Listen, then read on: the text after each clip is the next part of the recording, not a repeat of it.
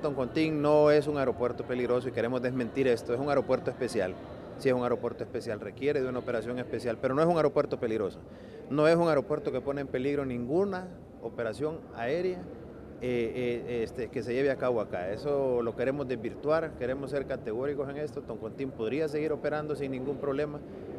Puede ser un aeropuerto que funcione en conjunto con Palmerola, no vemos por qué no, no vemos por qué no. Lo que sí no estamos de acuerdo es que en algún momento o en ningún momento se nos, eh, se nos consultó, se nos, uh, se nos llamó a una reunión para que virtiéramos nuestro criterio